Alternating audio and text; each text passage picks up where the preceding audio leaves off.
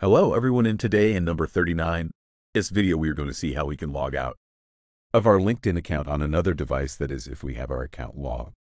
And on another device and closing it is very easy. First of all we open the LinkedIn application. It is worth as much for iPhone Android and then we are going to go to the top left one looks like our profile photo then we are going to the last option that says settings and once we are here we are going to go to the second option to see login security and then what it in number 39.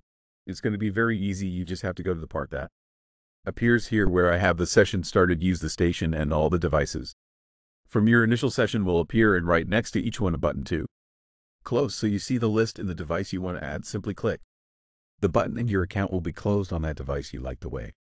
We have resolved your doubts. Remember that our channel has thousands of tutorials on applications that we all upload step by step the next one that makes sense free to.